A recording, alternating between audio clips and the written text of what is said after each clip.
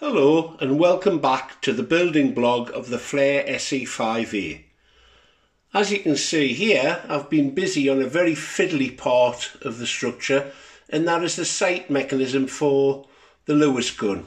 I've fabricated it using some very fine aluminium tubing, well aluminum to my American friends, uh, and that's this sight um, allowed the pilots without taking their eye off the enemy, the Hun, to fire the synchronized geared uh, Lewis gun. So that um, allows me to disconnect it from the upper wing, which last time I was showing some of the detail uh, on that wing. So the upper wing was finished and I've now gone on to cover the lower wing as you can see here.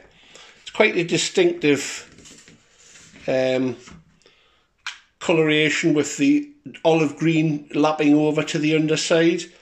So that's the lower wing completed now. And I've also done a quite a little bit of fiddly work and that is I've put the access viewing hatches for the pulley mechanisms in on the lower wing and on the underside of the upper wing.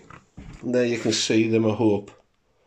Now the next major hurdle to get round is to actually put the roundlets on the upper wing, which I intend to paint on, and on the underside.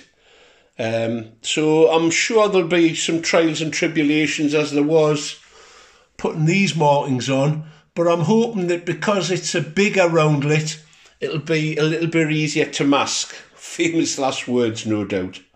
I also have uh, a seat to put in and a pilot. I'm not going to go for an instrument panel. There's just, I think that's just a bit crazy.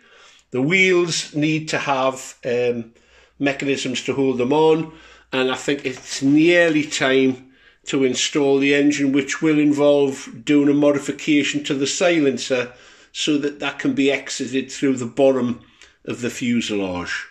So there's loads to still do on this. Um, I hope to get it flying this year at some stage, but I'm not in a rush. I've got lots of other models to fly, and I'm thoroughly enjoying this build. I hope you're enjoying the journey with me. I hope that you're managing to squeeze a little bit of flying in. I managed to get out flying last week, even if it was on a snow covered, soggy strip. But if not, then you can always do a little bit of building. So, bye for now. Um, all the best. See you soon.